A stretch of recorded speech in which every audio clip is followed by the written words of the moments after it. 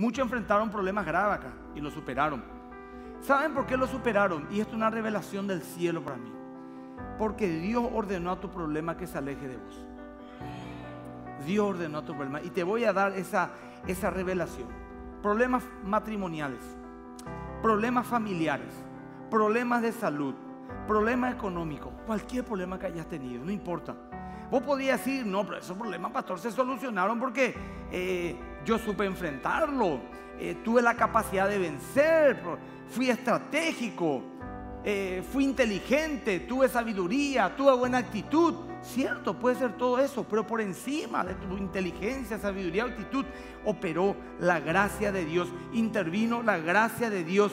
Dios te dio determinación, Dios te dio fuerza, Dios te dio valentía, Dios te dio fe, Dios te dio sabiduría para que hayas superado esa situación.